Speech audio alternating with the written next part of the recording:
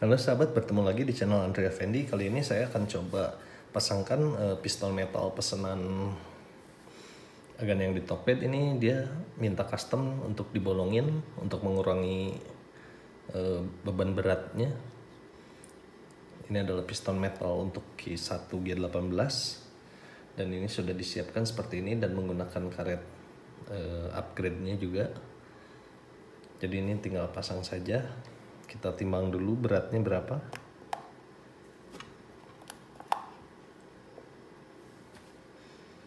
Untuk yang piston upgrade ini beratnya 8 gram. Sekarang kita bandingkan dengan yang bawaan aslinya kita buka dulu.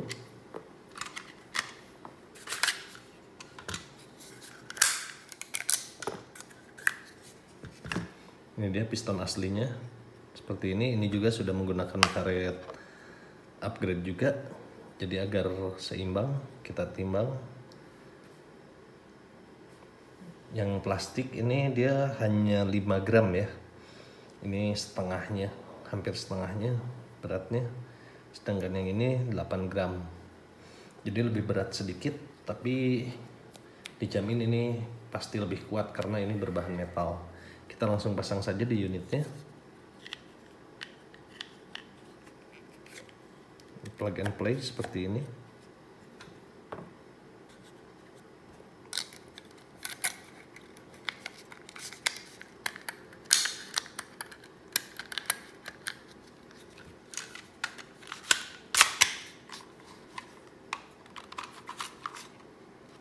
Sudah terpasang kita langsung tes dulu sebentar. Berfungsi dengan baik. Oke. okay. Sekarang kita tes FPS-nya.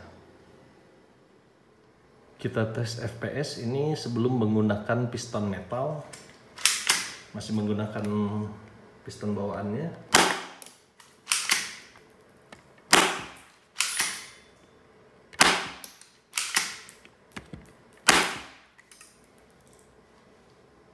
FPS kurang lebih 178-an ya sekarang kita tes setelah menggunakan piston metal. Sekarang kita tes setelah menggunakan piston metal dengan eh, BB yang sama masih 0,2.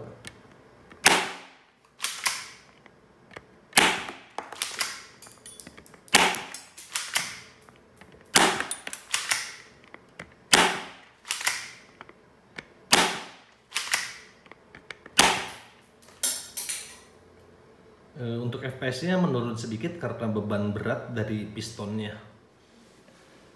Oke, itu tadi setelah dites eh, FPS-nya memang menurun karena mungkin beban dari eh, piston metal itu pun tadi sudah coba dikurangi beban beratnya dengan melubanginya. Mungkin kalian semua juga bisa eh, modif ini lubangnya mungkin dibuat agak banyak agar lebih ringan lagi agar beratnya tidak jauh dengan piston bawaannya sehingga tidak mengurangi FPS tapi menurut saya sih biarpun FPS berkurang tapi ini dia kan potensinya lebih besar karena dia bahan metal tidak akan patah. Jadi kalian bisa mengupgrade pernya sesuai keinginan kalian sehingga FPS bisa menjadi lebih tinggi. Oke, itu saja dari saya. Sekian, terima kasih telah menonton. Jangan lupa like and subscribe.